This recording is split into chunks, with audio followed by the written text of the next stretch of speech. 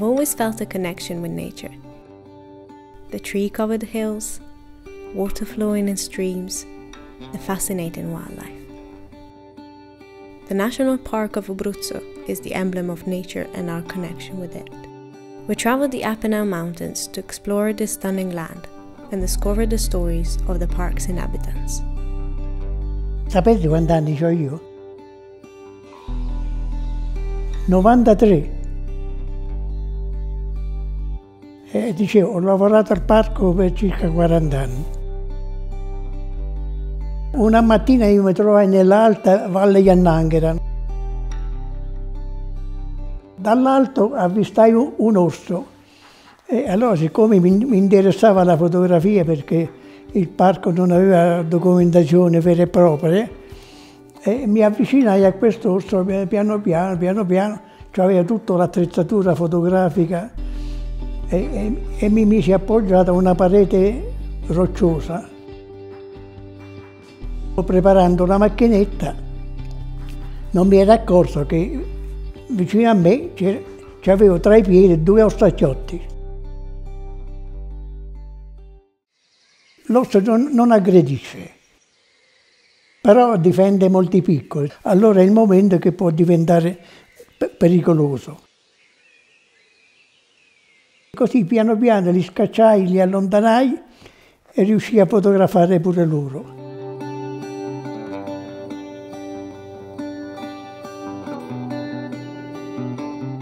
Siamo sempre ospiti dei luoghi dove, dove andiamo con le persone, quindi il nostro dovere principale è quello di, di far capire alla gente che dobbiamo lasciare tutto così come abbiamo trovato. Mi chiamo Pietro Santucci, sono un, un abitante di questo piccolo paese, Civitella Alfedena, sono nato qui oltre 50 anni fa e di professione faccio la guida, esattamente l'accompagnatore di media montagna, che è una figura abilitata ad accompagnare le persone sui sentieri del Parco Nazionale d'Abruzzo. Ormai la svolgono da, da oltre 30 anni. L'obiettivo nostro è quello di eh, osservare la natura, di farla comprendere, di educare pers le persone che portiamo con noi al rispetto della natura e degli animali.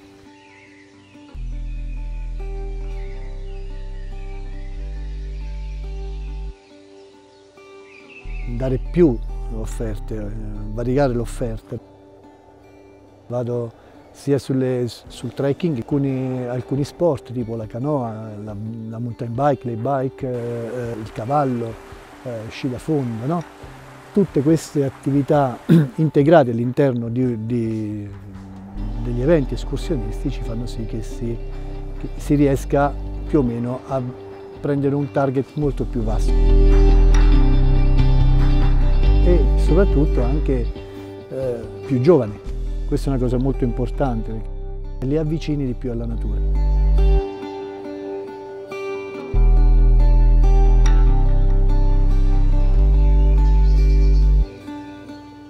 Mi chiamo Claudio Di Domenico, sono nato a Villetta Barrea in questo paese e da sempre faccio il lavoro da allevatore.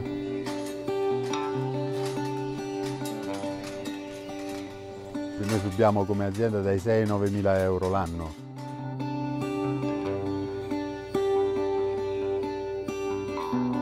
A livello generale la maggior parte dei danni sono provocati dagli ungulati Purtroppo siamo ridotti a avere solo prato polifida. Quello è una perdita perché non possiamo coltivare cereali per alimentare i nostri animali, dobbiamo acquistarli sul mercato con aggravi di spese.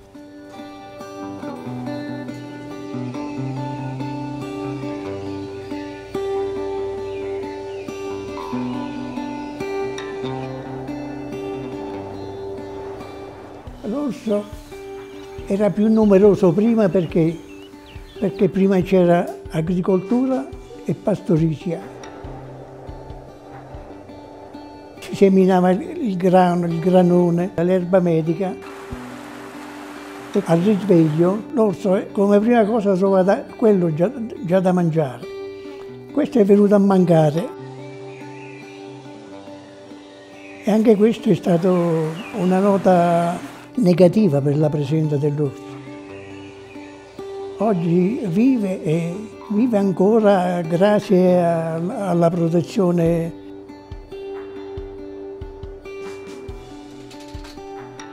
L'importante è mantenere e utilizzare metodi magari di agricoltura biologica e sostenibile che vanno a tutto vantaggio del territorio.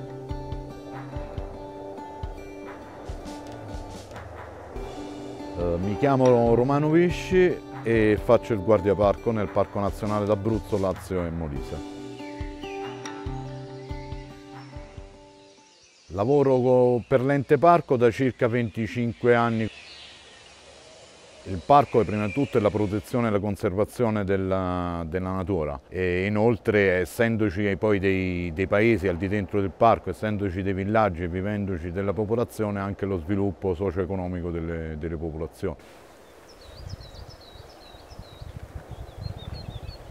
Il parco aiuta a relazionare le, le, altre persone con la natura per quanto riguarda il turista che arriva dall'esterno il, il, il, primo, diciamo, il, primo, biglietto da visita per il parco siamo noi guardia parco, ma poi ci sono anche centri di visita e musei con dei programmi anche di educazione, di educazione ambientale.